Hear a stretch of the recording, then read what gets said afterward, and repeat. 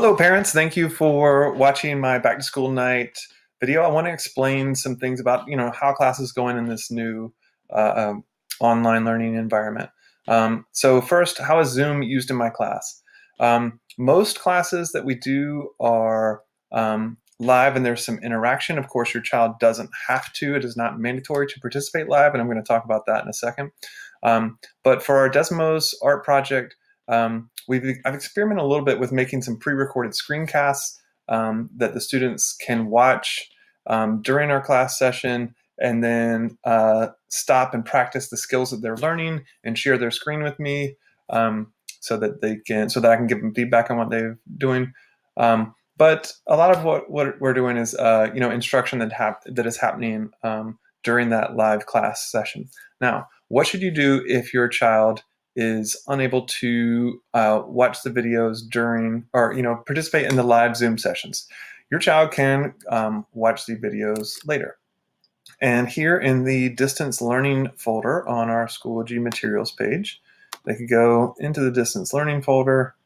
Um, right here, the Block 5 folder of class Zoom recordings.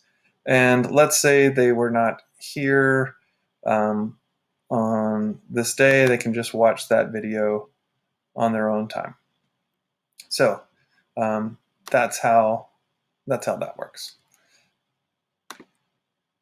Now, if they are present in class, uh, you know, during if they're meeting during the live times, um, they can ask me questions. Of course, during you know in the chat, they can unmute themselves and ask me uh, audibly. Um, well, one of the things that I'm trying to do, because I know that learning is maximized when there's interaction between people, is to ask them questions to answer in the chat. And so if they can answer, um, you know, the questions in the chat, that's great, and I can give them feedback on what they're saying. However, if your child um, can't participate live, um, I still want them to feel included and to get some of that interaction. So what they can do is they can, um, when I ask a question, um, they can pause their video and think about the answer themselves and write it down or just have it in their head or whatever. Um, and then they can unpause the video and see what the other students say, and then ultimately see the answer and what feedback I give to um, the students in the video. So hopefully there's still you know some type of interactivity and there's some type of participation that can happen, whether your student is participating live or later when they watch the videos. How can students improve their grade? So uh, the answer to that question would be um, two ways. One, um, on our final exam, um, we're going to have uh, a portion covering the new stuff that we've learned, and of course, that doesn't affect the grade in any ways. Um, but there's also going to be a portion from the material that we covered back when we were on campus. If students um, do those problems, then if they score better on them, that will replace the grade that they um, had uh, initially back when we were on campus. Um, so that's the main way. Um, and so uh, I haven't seen a, uh, schedule for finals week, but I'm assuming that um, you know there's going to be that'll be put out um, soon. Another thing that students can do if they don't want to wait that long um, is they can participate in office hours.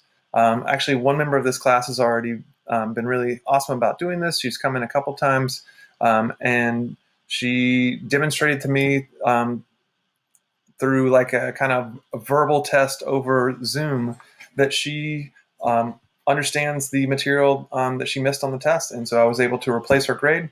Um, and that's great. Now, that may take one Zoom session, it may take two or three office hour sessions. But if students have questions, um, I want to be able to kind of help them once they feel ready, once I feel ready that they've mastered the material, then we can um, give them that opportunity to uh, do it in like a verbal test.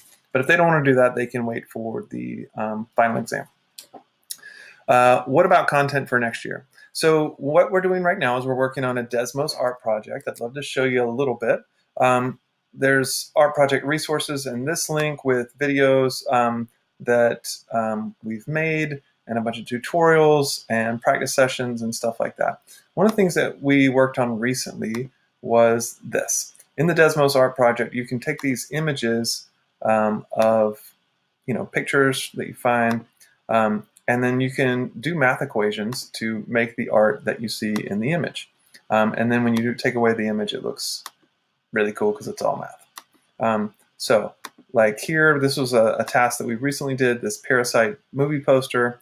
Um, and if we want to make the the knife, let's say, we have this quadratic equation that makes a parabola, and the parabola makes uh, kind of follows the bottom curve of that knife. And if we restrict the domain, um, we can turn the parabola off. We have a linear function for the top blade of the knife, and then we can shade in between them, and it looks um, it looks really cool. And uh, we have something here for the handle. The left plate still working on that, um, but we're working on the different pieces and um, this uh, cool kind of math art, like right here in this London Bridge Tower.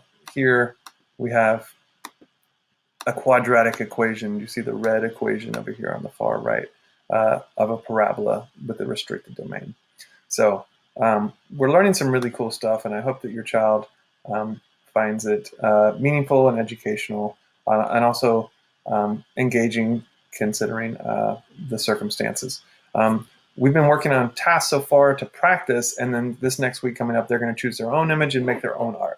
So I'm really excited to see that. Additionally, um, in we're going to finish up the Pollster's Dilemma unit, which is a statistics unit. So we're going to learn about um, the normal distribution, z-scores. Um, we'll see how much time we have to get into confidence intervals and confidence levels, um, but we're still going to be learning a, a, lot of math um, for the rest of the year. Okay, um, I know that this class structure is different than maybe you know history or English. Um, but I'd say most uh, the the kind of structure of class is to spend most of the, the time together interacting um, with the students. So if your child has questions, they can participate in those live sessions if possible. But if not, please have them email me because I really want to answer their questions. Um, lastly, uh, this is an online education. This is like emergency education. Uh, that's what a friend of mine, a teacher friend in St. Louis, said, and I, I really agree with that. Um, you know, I feel I take pride in uh, being up to date with the most uh, current best practices for math education. Um, and I have no idea about best practices for online learning. I'm not familiar with that at all. Um, and so it's emergency learning. I'm, I'm, doing the best I can, just like you all are, um, your families, your children.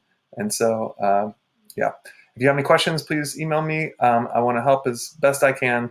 Uh, take care. Stay safe.